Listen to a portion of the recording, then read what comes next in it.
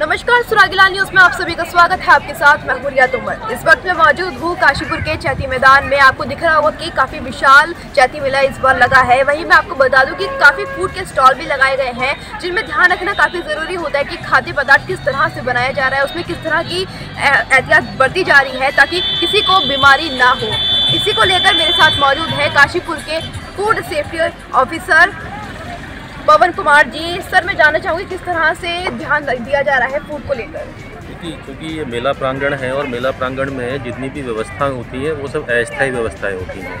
क्योंकि अस्थायी व्यवस्थाएँ होती हैं तो उसमें वो मानक सभी हम पूरे नहीं कर पाते हैं, क्योंकि कानूनन होने चाहिए। तो इसलिए जो खाने पीने के स्टॉल हैं, उनके ऊपर साफ़ सफ़ाई रखी जाए, डस्टबिन रखा जाए, उनको ढक्का रखा जाए, उनको ताज़ा बनाया जाए, ताज़ा परोसा जाए। जिससे जो मानव स्वास्थ्य है उसके ऊपर कोई प्रतिकूल प्रभाव ना पड़े। इन्हीं चीज़ों को रखते हुए समय समय पर उनको दिशा निर्देश जारी किए गए सर एक सवाल और आता है कि कई बार हमें से हम कई कितनी बार एहतियात बरत लें लेकिन फिर भी कहीं ना कहीं धूल मट्टी खाने में जाती है तो उसके लिए क्या आपने निर्देश जारी किया देखिए हमारी ओर से स्पष्ट निर्देश है कि कोई भी खाद्य पदार्थ है वो काट कर ना रखा जाए ताज़ा बनाया जाए और सभी को ढक्का रखा जाए कपड़े से ढक्का रखा जाए जाली से ढक्का रहा जाए। और धूल से, क्योंकि गर्मी का मौसम में धूल उड़ी रही है समय समय पर इसके लिए नगर पालिका से नगर निगम से भी संपर्क किया जाता है और वो सुबह शाम पानी का छिड़काव भी करते हैं, उससे भी उस धूल की रोकथाम हो जाती है।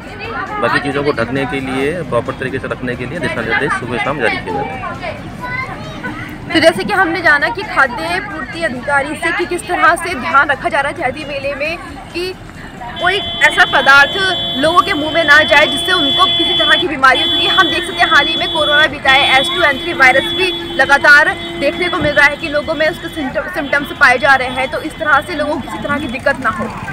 नितिन बहारा के साथ मैं रिया तोमर सुरागीला न्यूज़ काशी उत्तराखंड की खबरों से जुड़े रहने के लिए आप हमें सभी सोशल मीडिया प्लेटफॉर्म्स पर सब्सक्राइब, लाइक और फॉलो कर सकते हैं। धन्यवाद।